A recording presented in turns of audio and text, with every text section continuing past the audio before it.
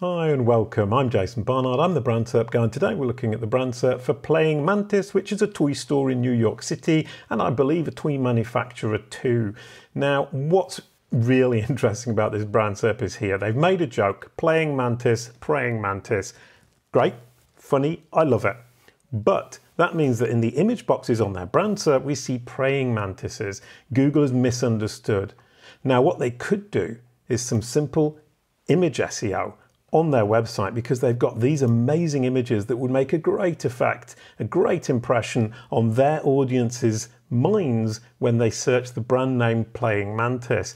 And all they need to do is add alt tags, add title tags, add schema markup, add H semantic HTML5, and probably they'll be able to take at least some of these spaces in the image boxes on their brand SERP and it will look really good for their brand. And if they keep some praying mantises, that joke still holds true.